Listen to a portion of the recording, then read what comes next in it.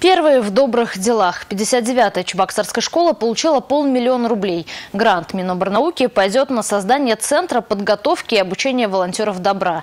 Добровольцев будут готовить по трем направлениям – социальное, медиа и арт-волонтерство.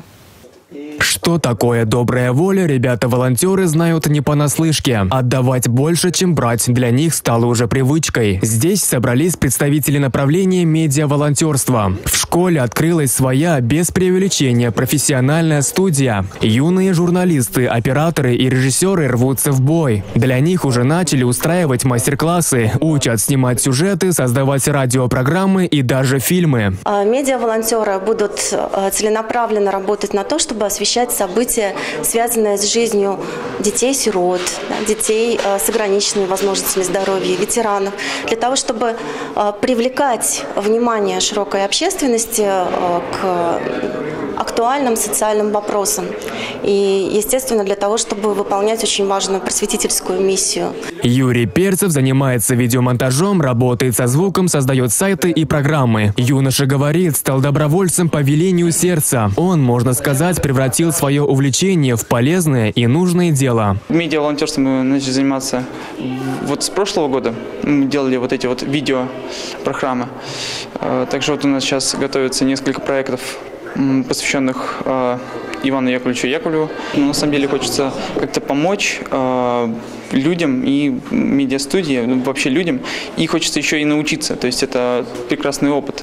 Добро и любовь дарит людям и Елена Котова. Социальный волонтер считает, что просто учиться сегодня уже невозможно. Главная миссия – помогать. Инвалидам, сиротам или пожилым людям адресатов добра достаточно. В данный момент у нас проходит мастер-класс э, по поделкам для Пасхи.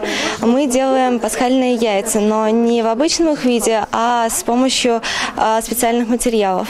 Мы уверены, что это поможет э, развить как моторику детей, так и а, подарить радость их близким, когда они будут это а, преподносить в праздник. Я считаю, что каждый человек должен помогать людям и окружающей среде.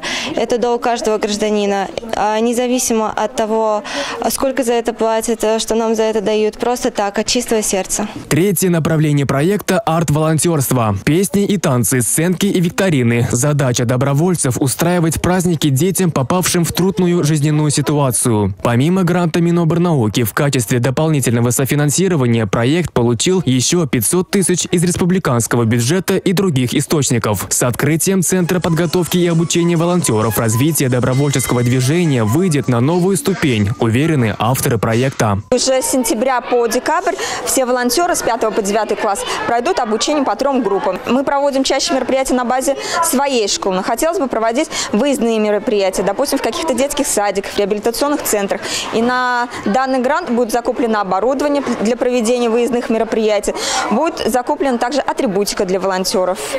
И также будут приглашены специалисты, которым будут оплачиваться из средств гранта. Благодаря полученному гранту школьники-волонтеры смогут расширить территорию добра и еще раз показать, как добровольчество меняет мир к лучшему. Рифат Фаткулин, Денис Ноздрюхин, Кирилл Кузьмин, Республика.